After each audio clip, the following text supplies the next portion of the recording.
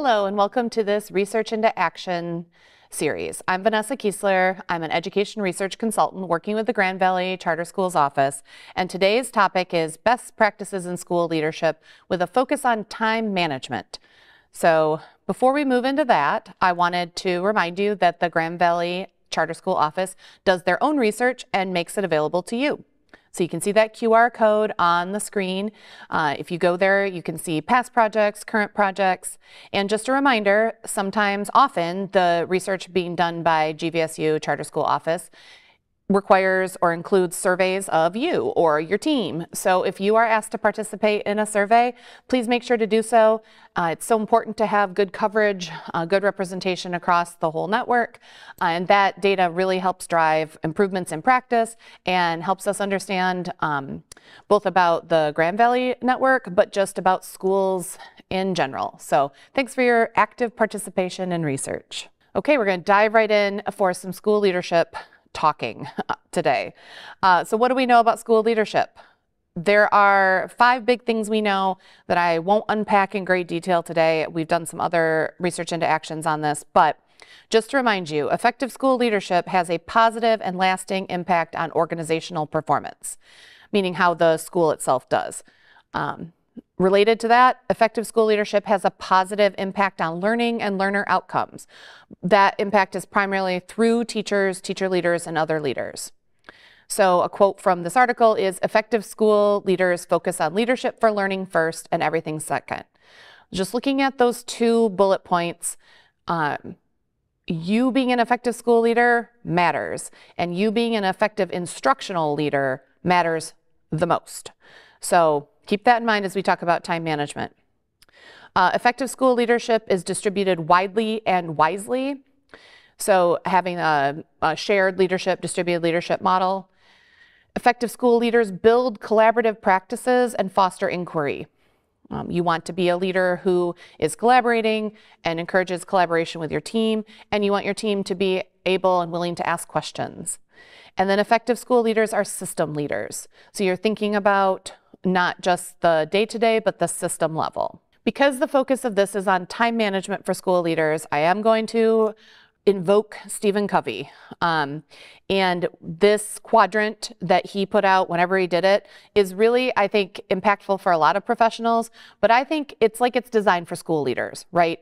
So all day long, you are faced with a number of tasks. You are faced with really urgent tasks, um, and you are faced with really important tasks and making sure you're spending your time on the right level of urgency and importance is critical. So if it's urgent and important, uh, the way Stephen Covey says it is, you do that. And again, as a school leader, there's a lot going on, and you need to react and be involved in the things that are urgent and important. For the things that are urgent but not important, you need to delegate. You need to use your team. You need to really think about what it is that you have to do that only you can do as a school leader. And that is found in quadrant two, important but not urgent. In that quadrant are the things where it's not on fire, it's not going to jump to the top of your list because it's so emergent. But if you don't do it, no one else is going to do it. No one else is going to be paying attention to the important long term things that are not happening today. So that's your quadrant. When you think about time management, asking yourself how much, how are you protecting your time to do the not urgent but important things? And then if it's not urgent and not important, which we all hope for more of those things in our life, try to eliminate it. Uh, going through that time audit of like, is are any of these things important or urgent? Like, do we have to do them at all? And we'll refer back to this quadrant throughout this presentation. But again, I'm actually going to flip back here. Uh, being an effective school leader for your organization and being an effective school leader, effective instructional leader through teachers, teacher leaders, and other leaders may not be the urgent thing on a lot of days. There's always going to be a kid with a crisis. There's always going to be a bus that's missing. There's always going to be something going on that is very urgent. Those things are important. You are charged with the safety and security of your students as well. And if you don't find time by delegating some of those to other people, if you don't find time to think about your leadership, your instructional leadership, and your organizational leadership, and to make specific plans, then, then you are missing your biggest opportunity as a school leader. Okay, how the best school leaders create enduring change. For this one, we're using, this is this really interesting study out of uh, Harvard Business Review. It actually was done in England, so it doesn't, all of it doesn't exactly translate, but they followed like 150 school leaders for like 10 years. So I like that because it's a nice longitudinal look at school leaders and the practices they used. Um, and they did you know, they did qualitative work. They were in watching them, doing observations, and also doing things like surveys and looking at data. So it's kind of a comprehensive look. And they have this school performance pyramid. There's nine things on the pyramid. We're not going to talk about all of them today, um, both for time's sake and because I think a couple are a little less relevant. But there's nine things that um, school leaders do to create enduring change. Challenge the system, staying for at least five years. That one's self-explanatory. We know the turnover rate is high, but if you want to see the change that you want as a school leader, staying is important. Um, there's the curve too, right? Like you're making change, whatever, and you don't necessarily see some of the outcomes of your change if you don't stay for at least five years. Teaching everyone, limit expulsion, um, challenging the staff, engaging students. We're going to dig into these more in the next slide, so I won't go into them right now. We're not going to talk a lot about challenging the board today, but they found that is part of being good school leaders is, you know, when the board needs to be challenged to raise their expectations, you do it. Uh, engaging parents, engaging staff, teaching better, which Again, it's a short bullet, but a big idea. And then teaching kids for longer is one we're not going to talk about much today either, because this is more specific to England's model. So kind of taking challenging the staff and teaching better and putting them together. And again, going back to the research I cited at the front and the Stephen Covey quadrant, your number one job is to be an instructional leader and to be very focused on the instructional quality experienced by your students. And I'm just going to say that one more time because as I keep talking to school leaders, as I keep reading the research, it's so clear that this is the thing that makes change in schools when the leader is an instructional leader. And it's also so clear that it is a really hard thing for school leaders to find time, make time, protect their time to do. So just know if you are making choices that help you as a school leader be a better instructional leader and be focused on instructional quality, that is a good choice. It is supported by all the research and it is a practice of a highly effective school leader. Some specific strategies, all of which could use a lot of detail, but today we'll stay a little bit high level. Clarifying instructional targets. So talking to your staff about what you're trying to do instructionally. What are the practices? What are the targets? And then making sure that is constantly implemented, evaluated, discussed. Um, looking at real-time performance data for staff to review attendance, behavior, test scores, whatever you agree are the indicators of those practices, look at that data in real time and talk about it. Don't be afraid to take on poor performers. You know, if there are staff who are not engaging in good instructional practices, if there are staff who are not willing to be focused on instructional quality, even though it's hard and in an era of staffing shortages, it can feel detrimental, just remember that every year that that teacher stays, that's 30 to maybe 120 more kids who have a whose trajectory of learning has been negatively impacted. Uh, recruiting talented teachers. Again, this can be challenging in a short staffing space, but it is a practice, you know, you, it's a practice that is um, a good one for you as a school leader to put your time into. Increasing those informal teaching observations. This really goes with the instructional targets and goes with the bigger one. As an instructional leader, you can't really be a good instructional leader if you're not spending time in classrooms doing informal teaching observations.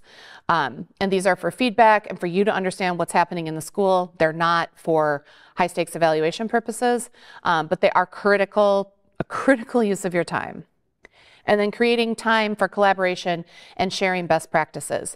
Uh, there's a lot of research around the importance of collaboration for teachers. There was a Grand Valley uh, charter school office survey that found that a really positive relationship between collaboration and teacher satisfaction. So making sure you're creating that time not only for you to engage with them around instructional quality, but for the teachers to engage around instructional quality is critical. Uh, engaging students. So this is, again, coming from the research, coming from the performance pyramid in this article. The research shows that performance improve when at least 95% of students attend all of their classes, when kids get in school. Unfortunately, as we all know right now, that is that attendance target feels wild in today's context. Um, Michigan's chronic absenteeism rate, students missing 10 or more days a year, is over 35% right now. And if you know any students, so many of them are they're not they're not at school. They're they're they're disengaged. So this gets into why they aren't attending class. They're not just staying home to stay home.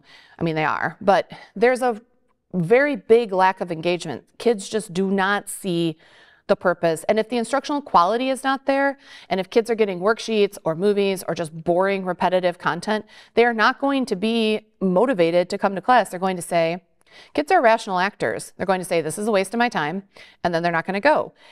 And they might be right that day, but then obviously over time, if they're not in class, they can't get good instructional quality, instructional quality. So you get this like self-fulfilling prophecy. Um, so anyway, a really important job for you as a school leader is to be thinking about that student engagement. Are your students engaged? Why not? And then coming back to that instructional quality. Is there a reason for them to come to school and learn beyond just you have to? And that's not just that's not enough of a motivation for uh, this generation of students.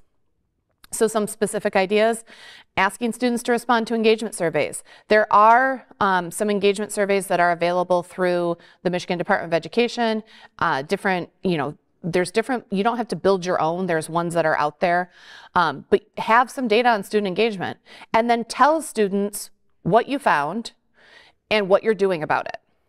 So if you if they just give you data and then they never hear back about any change that's been made, even if you made a change, they don't know. And so they don't think you're listening. Uh, something that the research suggested that I love, but I have not heard anybody do, although if anybody does it, please call me and tell me how it goes. Asking students to evaluate teachers. I just think that would be such an empowering practice for students, and if done well, could be a really, really valuable source of feedback for your teachers. And then creating mentorship programs between older and younger students. This again gives kids a reason to engage with school and to be there and helps them understand what it's like to try to be a role model, teach, you know, help support a younger student. Engaging parents. Uh, again, that Harvard Business Review study found that at the, uh, the goal of those high quality school leaders or the number that seemed to be the right goal was having at least 50% of parents and families at parents' evenings or other parent events.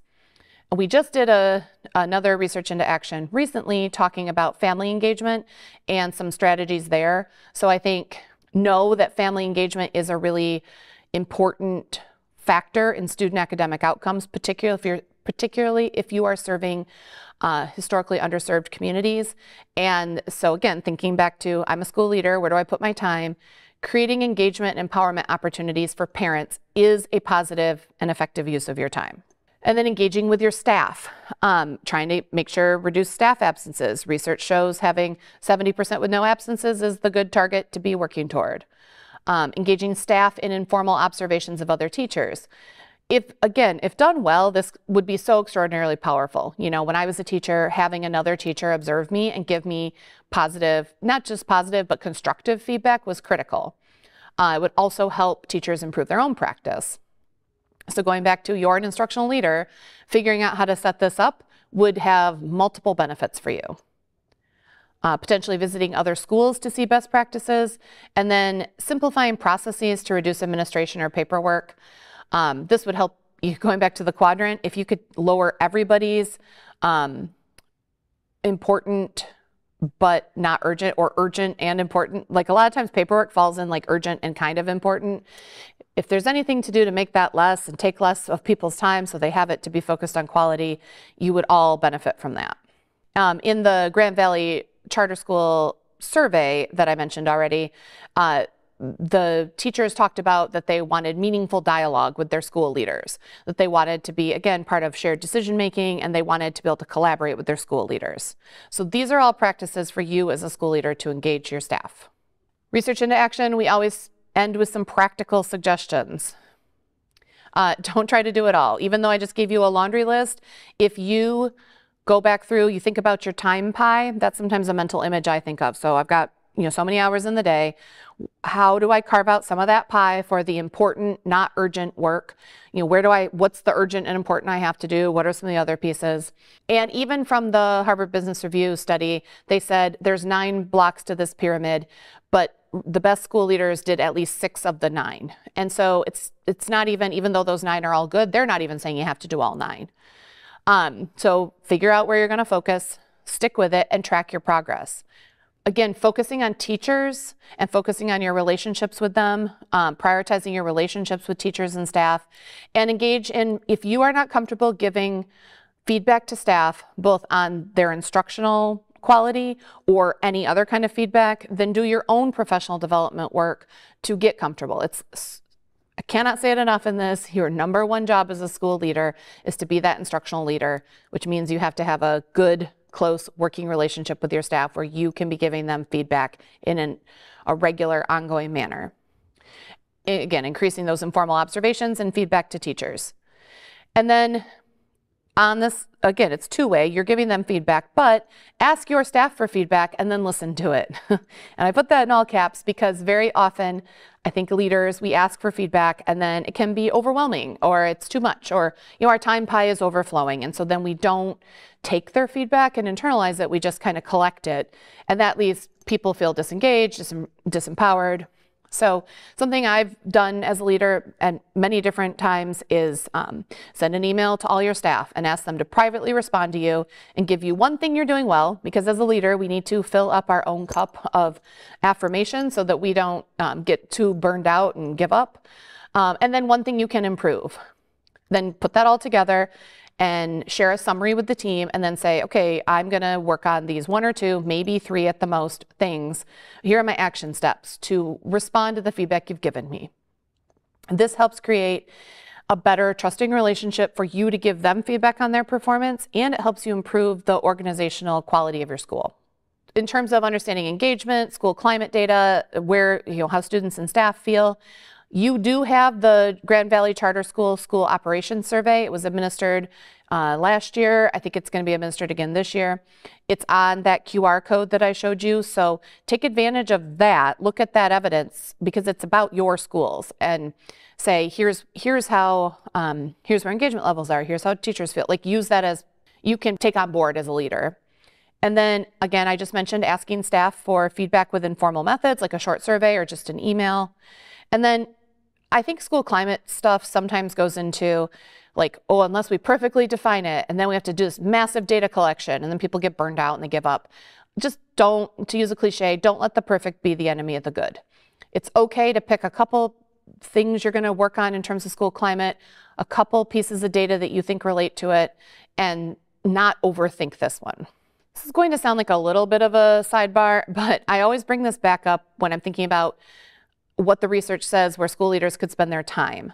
There is this weirdly huge body of research about the impact of disruptions on student learning. The, you know, the PA system going off, the kids coming in late, taking attendance, announcements, whatever. I mean, it's it's like kids are losing 20, 30, 40 days of learning based on disruptions from different studies. So as a school leader, you could probably reduce those disruptions, make small changes to logistics that minute that maximize class instructional time, and that could have a big impact.